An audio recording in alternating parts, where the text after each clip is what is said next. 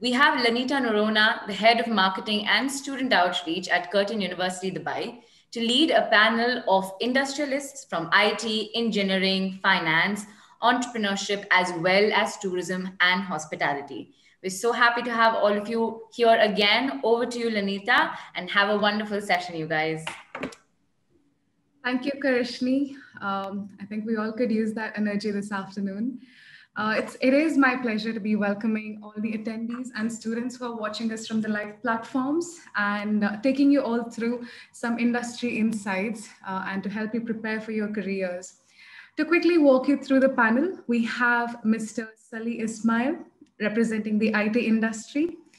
We have Mr. Prashant Gandhi from finance, Ms. Hiba Nadeem from engineering, Mr. Elias Elsus from hospitality, and lastly, Mr. Abdullah Yunis from entrepreneurship. So thank you everyone for joining us this afternoon. Uh, and in the interest of time, I'd like to get started with the questions.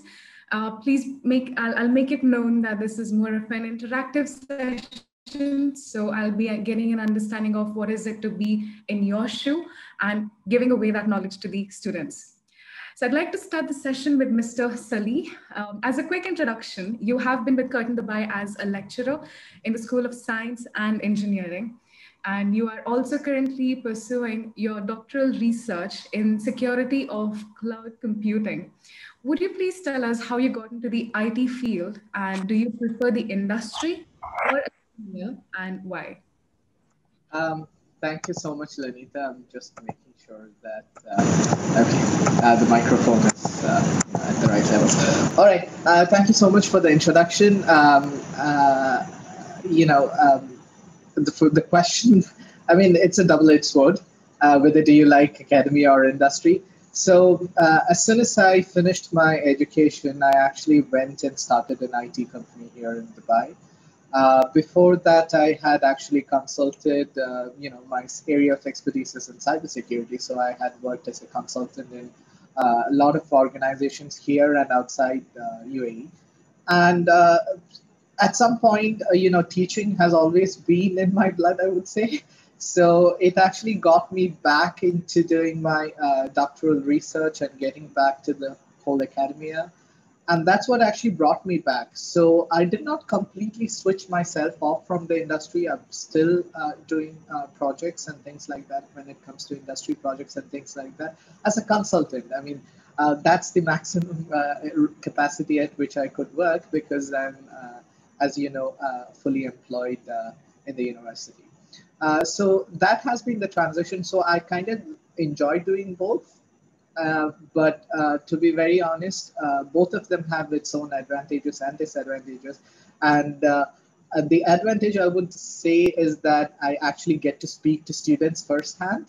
And that's not something that's quite, I mean, that always keeps me going. And, you know, always to bring back something back to the students. that's an angle which I tend to enjoy a lot because most of the time, uh, I mean, I'm going to be frank. I mean, I've had uh, professors who had actually no industry background and had just been in university life altogether.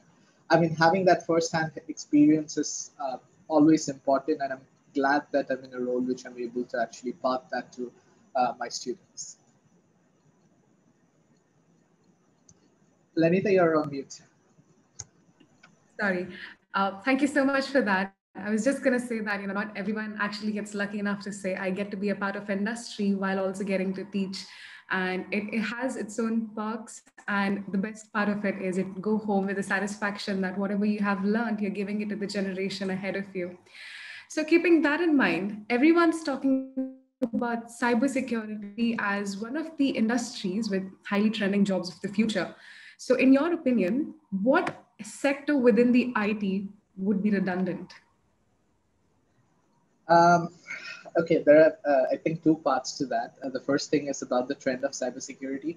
Uh, you're absolutely right about that. If you would actually look in uh, pre-COVID, um, 2017 and 16, uh, the um, I mean, for instance, uh, the U.S. labor statistics actually showed that there's a 28 percentage growth in the information security within IT. So that is the most fastest growing industry as I mean, uh, field within IT as well as the best paid in IT, I would say, uh, in the recent years. So, on an average, a fresh graduate coming out of a university, um, uh, on an average, the average income, yearly income is uh, 32,000 US dollars, whereas when it comes to cybersecurity, a fresh graduate starts at uh, somewhere around 70K. And that's almost double. So, uh, currently, the trend is that cybersecurity is the most in demand as well as the better paid job in IT. I mean, that is the same case as far as I have seen within UAE as well. Um, um, as you are aware, we closely work with the Dubai Electronic Cybersecurity Center, the government uh, department who's actually responsible for the cybersecurity uh, within Dubai.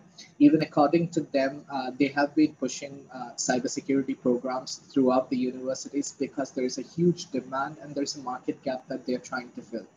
And uh, the fact that cybersecurity is some some of the jobs in cybersecurity is sensitive, and for that reason, um, most of the time they would actually prefer uh, their own citizens to be in that space. So they are trying to develop a generation of uh, uh, young Emirati uh, locals who are experts within the field rather than always outsourcing cybersecurity from other countries. So that's the generation that they're trying to uh, build up. As for the second part of the question as to what do I think that would become redundant in IT, I mean, uh, to be very honest, uh, that's a very deep and philosophical question. I uh, I would actually tend to think that since maybe I'm a little bit biased because I'm from the IT background, I don't think uh, in anything in IT would become extremely redundant because of the fact that what is driving everything at this point is technology. If you think about AI, blockchain, uh, big data, whatever that you think of, it is actually driven by technology.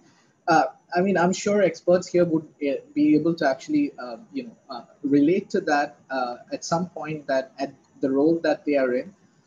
for for instance, um, I have been actually seeing a lot of AI softwares which are actually handling not even AI, simple softwares that are that are able to actually handle accounts, but not the complexity of finance. I mean, you still need humans to actually do that. So I really don't think that anything in IT would become completely redundant. It would keep on going, but there was always going to be an improvement. For instance, now it's the age of big data. In olden days, we used to actually work with SQL, MySQL. We still do. But the point is that it's actually reducing because you've got machine learning in the picture, which is actually, um, which helps you to take a lot of your uh, effort that you need to put in and the machines are coming and doing things for you uh, on your behalf. So you're not being redundant you just have to uh, change the way in which you your outlook to all this. Okay, so I think we could say no matter what kind of improvement that happens, there's always going to be a way the human interaction or the human need is going to be there. You just have to be adapt to it. Yeah. Uh, keeping that in mind again, do you recommend any certifications for IT or cybersecurity that students could pursue during their studies or post education, just so they can um, the game? I mean, this is something again I get often asked by students directly. Uh, it really depends on the field. I mean, if even if you just take it IT, I mean, like it's broken down. You could think about networking. You could think about cybersecurity, big data, database architecture, operating system. I mean, like there's a plethora of uh, different fields out there in IT. So it really depends on the student's interest. Like for instance, if a student is interested in cybersecurity, for instance, and I've had currently some of my students who are just uh, in bachelor's first year and they've already uh, been certified as i mean they've gotten their CEH certifications. I mean that's great. I mean like you get to have students with some additional background knowledge and it always spices up your discussions within the classroom uh, with the students so it's always an advantage. So it really depends on the student needs to understand their area of interest and then speak to someone who's an expert in that area. That's always someone who's actually working in that field. Go talk to the person.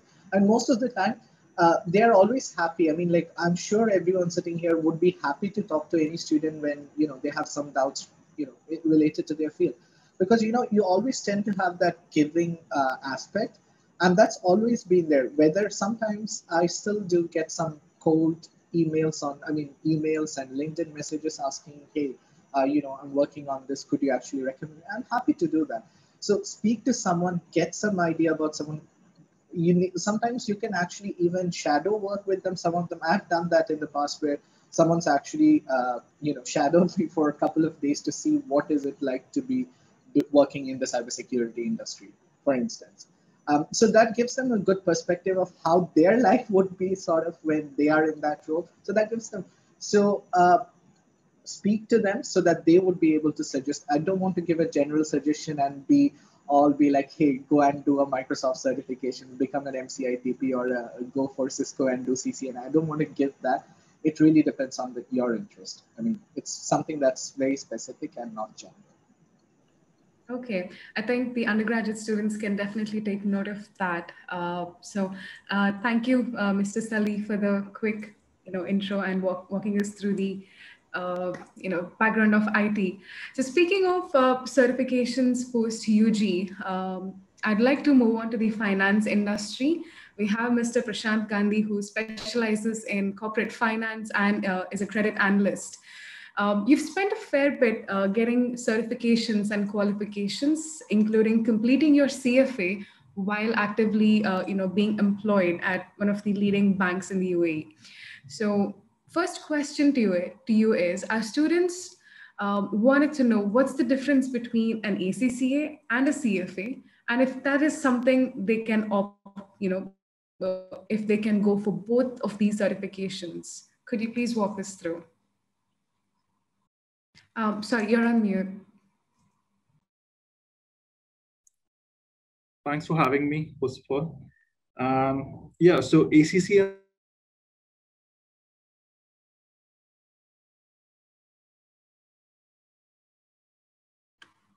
Oh, I'm guessing it's just not me that's that he's stuck for.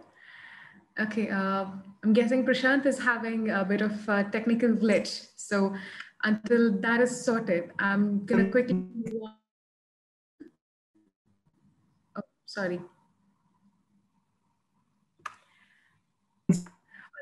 Uh, there seems to be a CFA. There's a lot of difference. Um, Prashant, um, I'm gonna have to. Uh, Prashant, I'm sorry, sorry to cut you off, but we lost you halfway through. Yeah, yeah, no, I, I got a call on my phone. So, yeah. so ACC and CFA, uh, both are quite different. Uh, ACC has got a lot more to do with the preparation of financial statements, uh, auditing them. You would likely be working as an auditor or an accountant if you are in ACCA. Uh, CFA has got more to do with using those financial statements to make decisions. It could be investing decisions, lending decisions, anything of that sort. So it really depends uh, where your interests lie.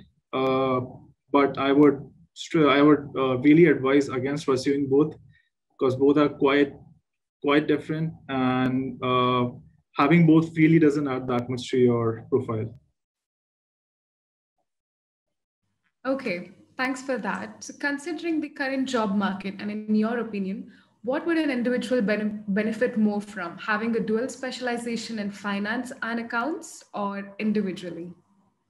So, uh, if the students do have an offer to pursue a dual specialization, I would advise to go for it because uh, it would give you a brief overview, a general idea, a general sense of both the subjects, and then maybe you can make a more informed decision uh, when it comes to later pursuing a job or a degree after that. So yeah, a dual specialization would definitely be helpful. Okay. So what are the professions that are significantly in demand within finance industry, given uh, the understanding that you are coming from the background itself? And is there anything to look out for post-COVID era? So with uh, in recent times, what you've seen is a lot of focus on analysis-driven roles. Uh, it could be treasury analyst um, or quantitative analyst, general credit analyst, equity research, relationship managers, people who are involved in sales of financial products. It could be lending or uh, uh, investing and all of that. Uh, but what we have seen post-COVID is a lot of focus on tech skills so the tech, the skill, the fine line between uh, tech and finance has been rapidly fading. I'm sure Mr. Sali would agree with me on this. Uh, we have seen a lot of demand for skills such as coding, such as cybersecurity, blockchain, and you know, skills of that sort. So what I would advise is rather than uh, pursuing qualifications right away, it would be better to just explore these fields and to just build skills. A lot of times what happens is uh, with degrees and with certifications, qualifications, you do get the qualifications, but you have no practical idea of how those things work in reality, which can be quite different from what you have studied. So, uh, so I, I would strongly advise to first build those skills, explore all these alternate career opportunities, and then decide what a student might want to do. Okay, thanks for that. Um, thank you very much, Prashant. Uh, we'll circle back to the question of students uh, getting the opportunity to explore uh, towards the end of the session. Um, but since we were speaking of COVID, uh, COVID has been a difficult time for all of us, and hospitality industry has been a very vital, uh, and has played a very vital role in helping through this challenging time. Uh, you know, when the entire medical industry was in need of um, getting through the patients and so forth, hospitality industry was one of the few of them who were available 24 7, lending the help and getting them through. So we have Mr. Elias, uh, who has been in the industry for over 10 years now, and currently he is managing five different hotels in Dubai uh, as a cluster director of sales for the Hilton Group. So uh, just to get an understanding of um, how the whole process or how the whole area works, could you please tell us what a day in your life looks like? And and how, how has it changed, Mr. Elias? Thank you. Thank you, Lanita, so much for this opportunity. Uh, overall, a day for, for someone like me, it looks like uh, every day different, especially with this whole uh, new situation and the new norms that we are facing uh, on a daily basis, and it keeps changing. Uh, overall, for, for a hospitality uh, employee or, or someone who work in, in this industry and travel and tourism, uh, it depends on which department you work. One of the key things about hospitality is how rich it is in terms of different uh, uh, uh specifications, different jobs, uh, different roles uh, that you can see within one hotel, within one entity. personally, over 10 years, I have changed from being in a front office, a guest relation, dealing with guests on a daily basis every hour, uh, I moved to, to, to, managing the food and beverage department and working uh, on concepts building, on menus, uh, and, and everything related to culinary arts or, or to, to beverage management. And nowadays, I am more into the commercial side of the business, where I look at numbers. I, I plan my day and my week on, on doing uh, meetings with different partners, with different potential clients, uh, going to the market and, and visiting uh, my, my clients, looking what is happening nowadays, how we can assist each other in this crisis. Uh, to go back to the crisis that we have been facing since one year, uh, just th these days are very close to my heart because one year ago we decided to close our hotel and we know each other since since those days and for me when i started in, in one of, of my key hotels in dubai i opened it myself and i always had this connection so the crisis, first of all, it, it pushed a lot of hotels to close their doors. So mostly a lot of hotels in Dubai and all over the world, and some of them are till now closed. We had to close and we had to uh, build a new strategy for the post-COVID era. How we can face such challenges, uh, how we can look at, at the COVID uh, and what will happen after COVID as first a challenge and then an opportunity to go out of it, to be able to survive. Uh, we are an industry of people. Uh, we don't work with uh, Excel sheets. We don't work with codes. We don't work with, with systems. We work with people. We see people on a daily basis. And this is why we were one of the key industries that got affected because it's people and Corona got spread through people. So uh, this is what we had to face. And the key things that we start working on is, is mainly honesty, creativity, how we can create uh, a new needs and the new demands for, for everyone, for people who couldn't travel anymore and visit new countries and who are usually passionate about the traveling.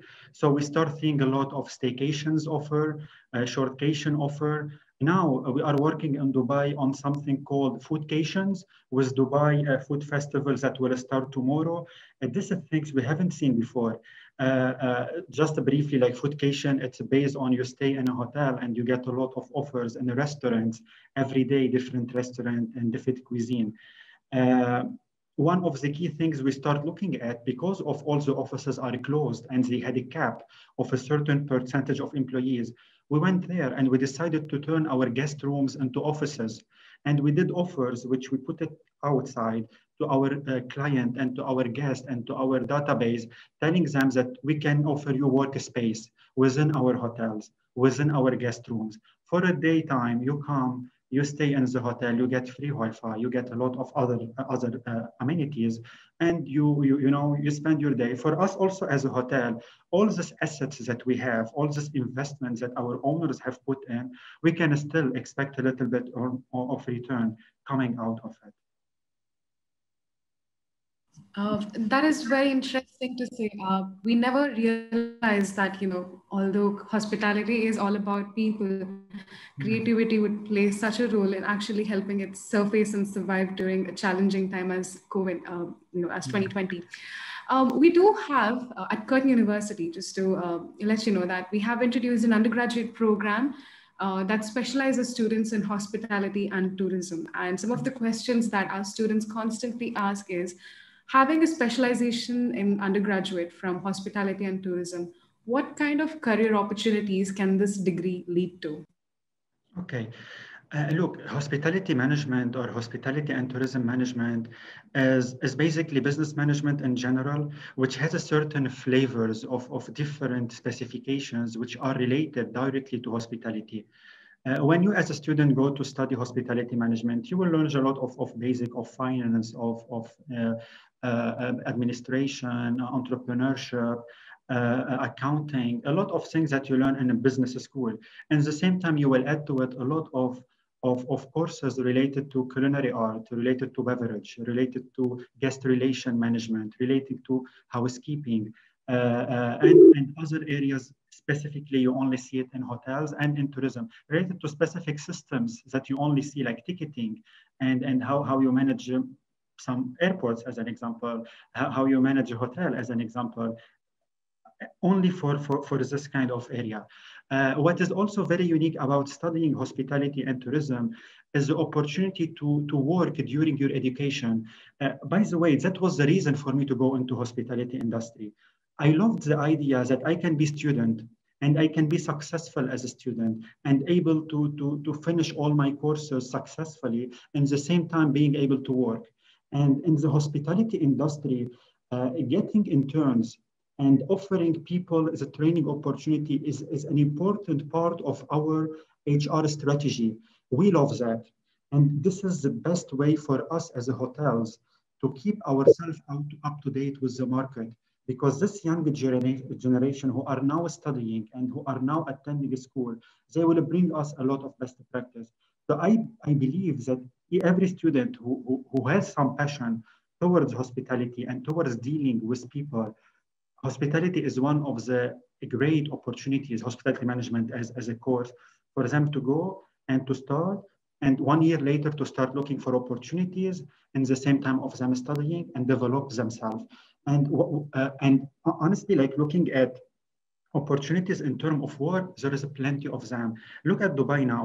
With the whole crisis, in the last few months, we had many, many, many hotels opening, which means there is still opportunities for people to find a job and to grow within the companies. Personally, I had the opportunity to grow within the last one year where everyone thought it's, it's, it's unbelievable how, how, how people can have opportunities to grow. But no, with hospitality, it's, it's an industry of opportunities at the end of the day. Thank you so much for saying that. And since you already mentioned about the internship within the industry, uh, how do students actually go about obtaining internships within the uh, within the hospitality uh, industry? Okay. Uh, in general, I, I, would say there is many channels uh, for, for students to be able to do internship uh, within the hospitality. First of all, as an example, this career fair where a student attended, they got to know at least my name, maybe they will connect through together.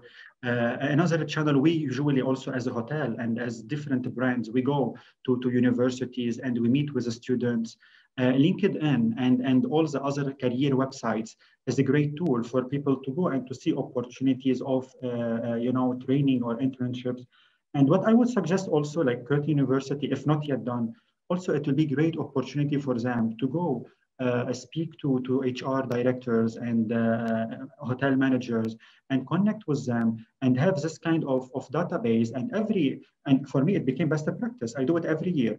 At the end of each uh, uh, uh, year, I, I connect to some university. I ask them, what profiles do you have? What students do you have? Anybody is looking for an opportunity. So this is the way it's, it's between universities effort, it's a student's effort, it's as well hotel's effort, because for us, this part is very important. And definitely there is a plenty of alternate channels. LinkedIn, and sometimes we post, but the only sensitive thing, sometimes we don't post as well internship, you know? So it depends also. So this is why it's important for universities and for hotels to collaborate together on that aspect.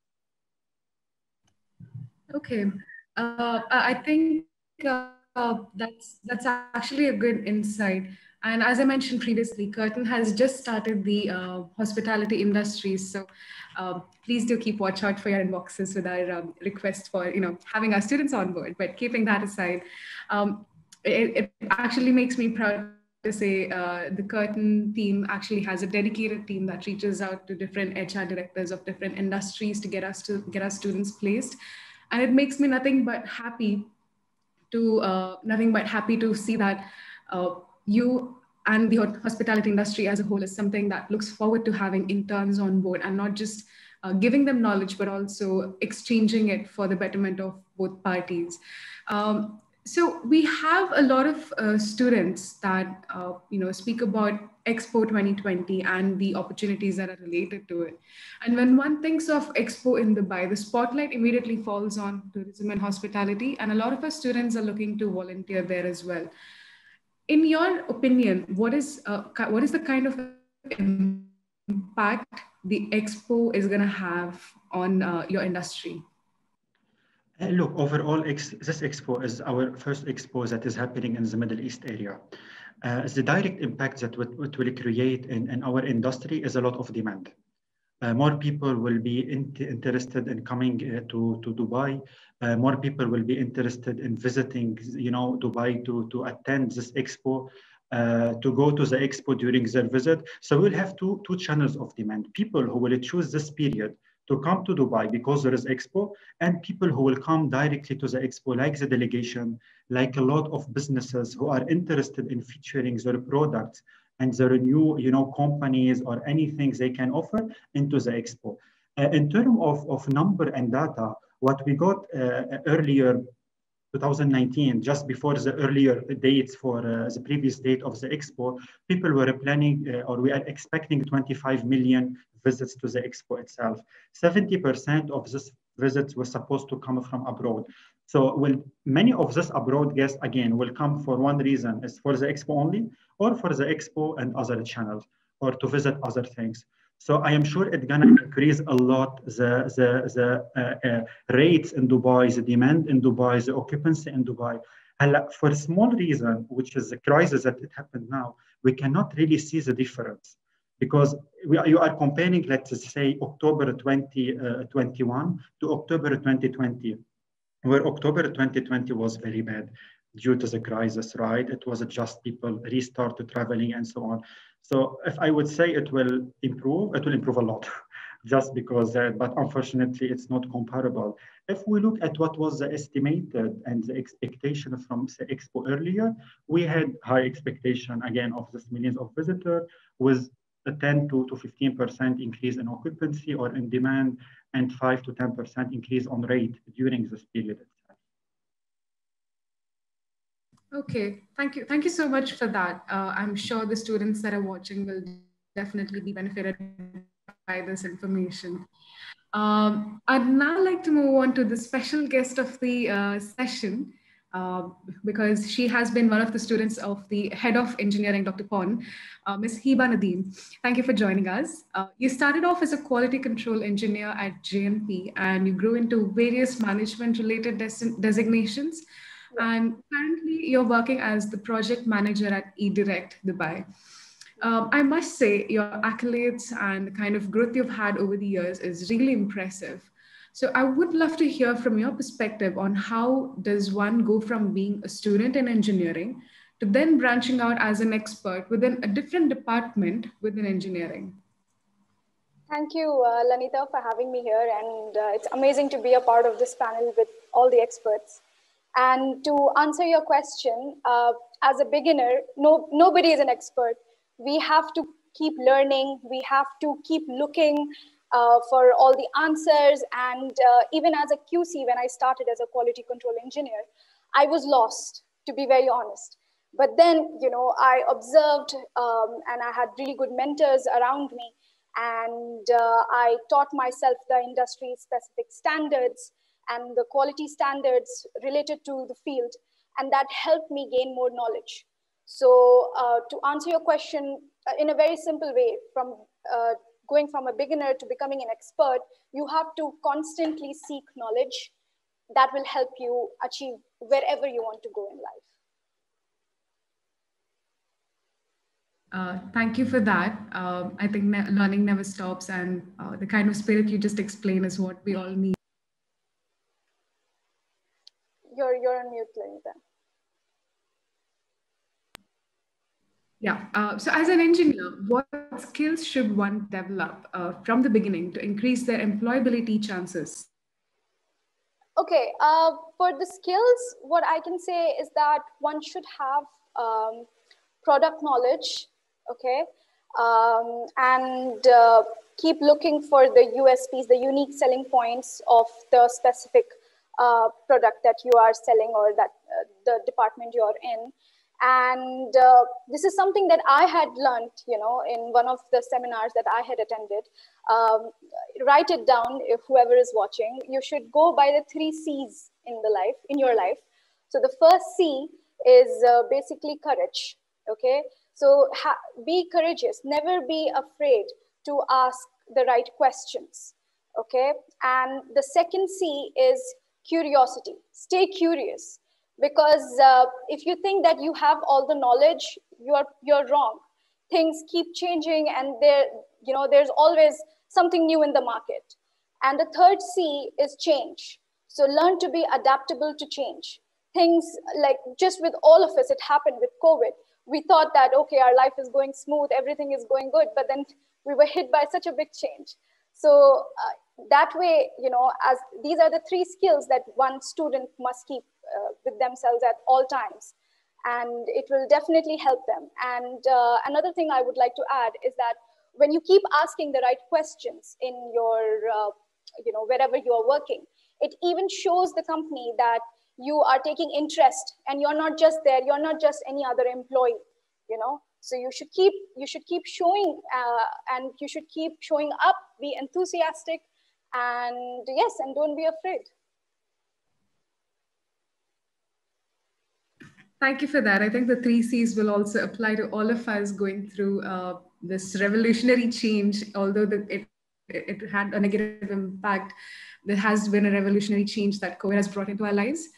Um, so to focus back at the uh, engineering students, uh, yeah. what additional courses could an engineering student opt in addition to their bachelor degrees? Are there any certifications or any other courses that they can opt for to get themselves, uh, you know, stand get themselves uh, stand out with, from the competition?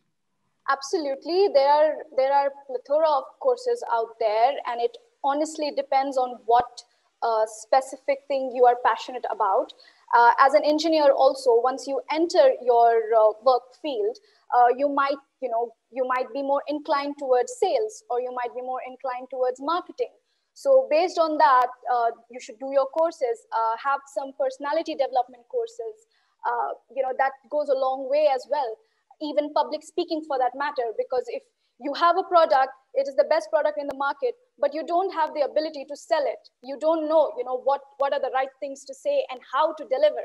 Then it's no use, you know, even if you have the knowledge, but you don't know how to deliver it, it, it won't be of any use. So go for the additional um, uh, additional courses that's out there and everything is out there just a click away on google And um, yes, so for an engineer also, um, even for like suppose you're you're working in any any field uh, related to your specific uh, product, learn more, and you become an expert in that way.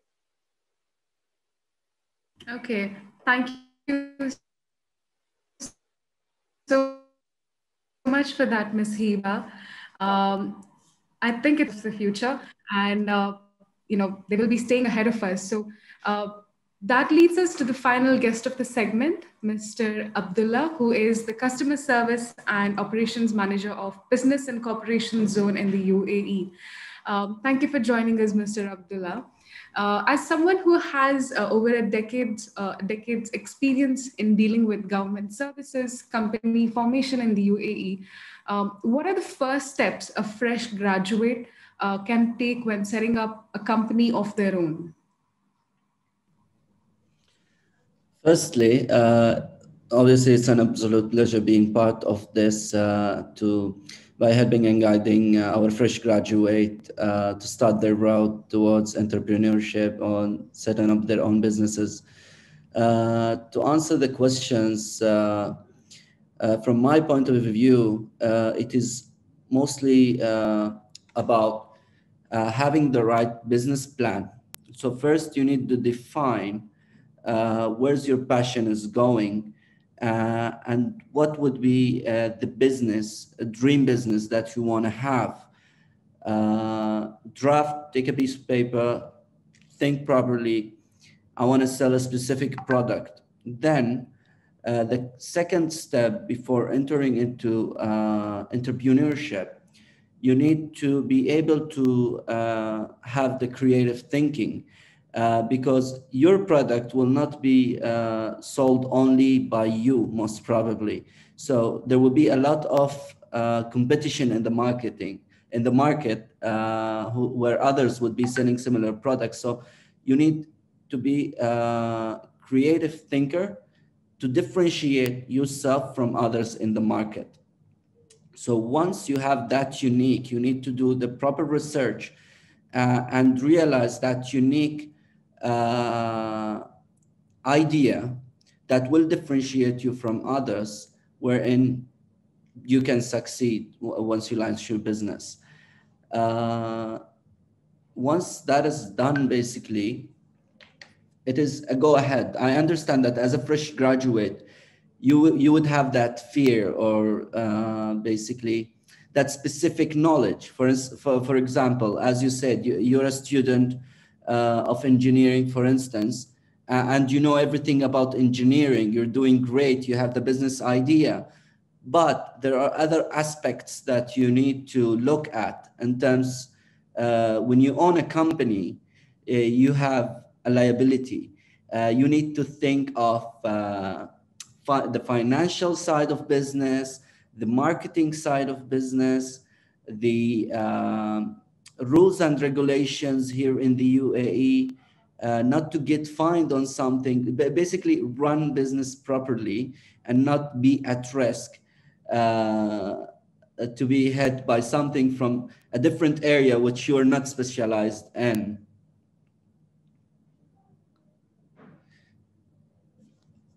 Okay. Uh, thank you so much for that. Uh, you know, mm. considering your background, you know, you, you have helped over 15,000 companies start up within UAE and more. Um, so what kind of startups that are actually doing well in the current market? When I personally uh, think about the duration as current market, I would see it from a year now. Uh, so especially with COVID hit, uh, a lot of uh, basically uh, activities or business activities got hit or business plan got hit, which are mostly the activities that involves uh, physical presence or basically human touch, uh, human interaction. It got hit. So uh, people had to start thinking, uh, creative thinking, again, as Mr. Elias have said, on how to overcome this challenge is by starting uh, to think more about uh, the digital side of it. How do I uh, change my business from this to more into being digital. So as new startups, uh, we had still uh, many companies being set up even during the pandemic because a lot of uh, people has saw that opportunity uh, of moving towards uh, the major business activities which been set up uh, until date from the when the pandemic started is going more towards the e-commerce and then the collaborative uh, collaborative uh, consumption concepts such as basically Airbnb or uh, Careem, where you don't own the item, you collaborate with the you help other entrepreneur to to market their item, and you benefit from that through a simple digital platform. Uh, that worked well, as well as digital marketing. When you have that boom in the market, everyone suddenly moved from uh, being physical or having that human catch uh, touch, wanted to, to move online, uh, needed those people who would support them and be good uh, in digital marketing. Uh, so that's, let's say, the third or fourth activity. And then similarly, IT. IT is a viral sector now because uh, most of the IT tasks can be done remotely, except networking, I believe. So uh, IT has that, uh, it's everywhere. It's technology, and it is needed especially in such direction which people are taking, moving towards digital platforms. You will have them building the websites. You, you can do multiple activities, website designs, uh, programming, applications, anything you think of in IT would be useful in this time and period of time, as long as going back to the first uh, point, what you need to plan is you know your target. You have the business plan and you know whom are you targeting before you set up your business. So as long as you know who you're targeting with the product that you're going to sell in this uh, current situation in terms of IT, you're gonna definitely succeed. So yeah, these are the most selling activities as of the moment and since the pandemic has started. Okay, that's very interesting. And and what I uh, I'm happy about is that every point that was discussed by the fellow mod, uh, fellow panelists is something that's got to do with the future that's ahead of us. Uh, so thanks for giving us that overview, Mr. Abdullah.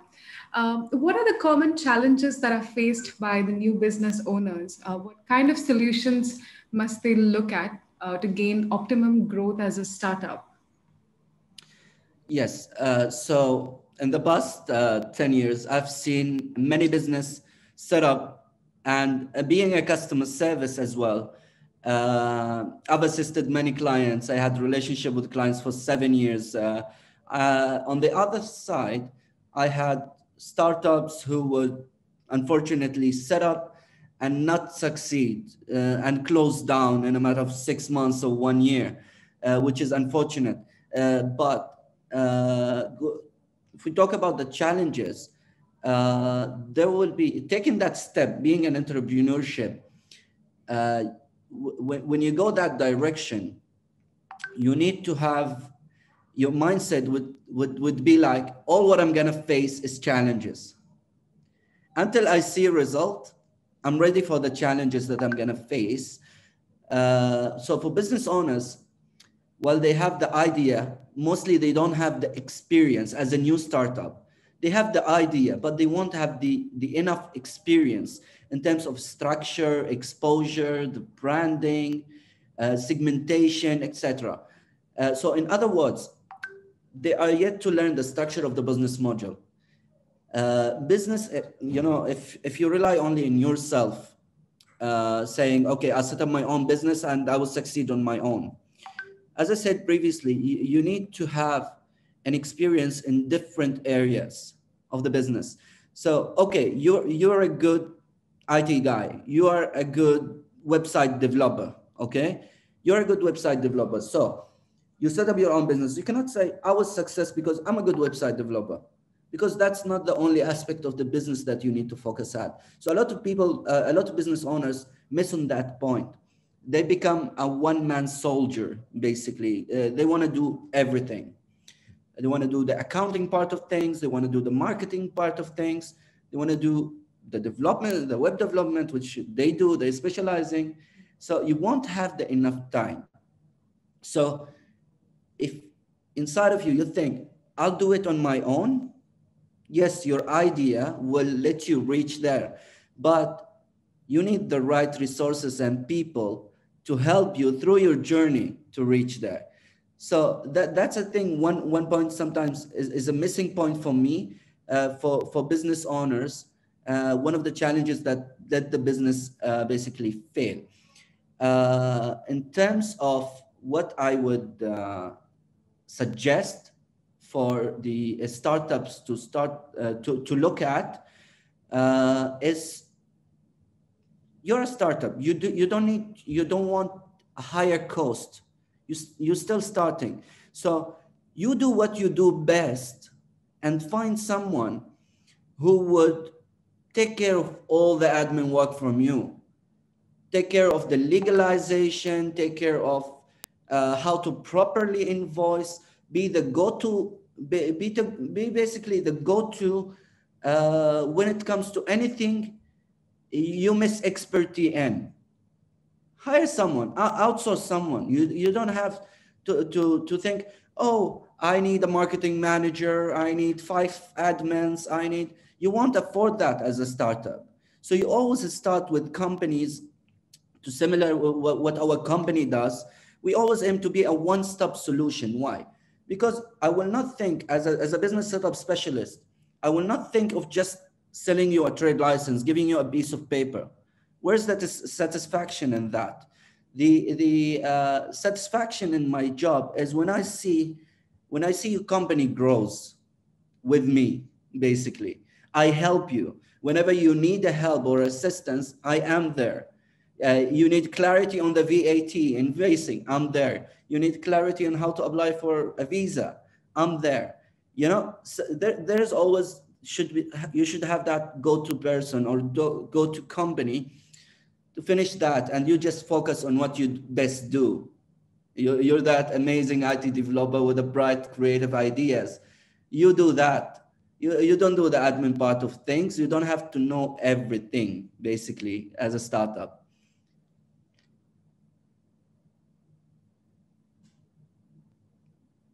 Uh, i think you're on mute. Lanita you're on mute.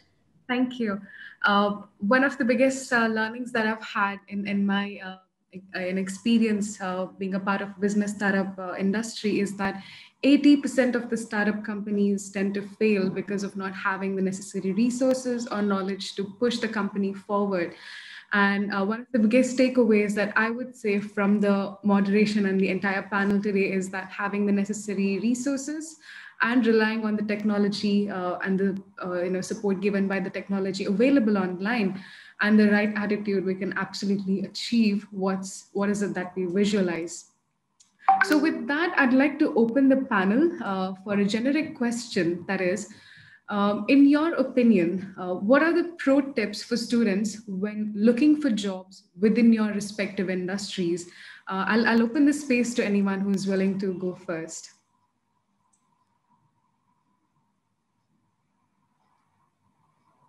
Uh, yeah, Ilya. I can go. I will volunteer.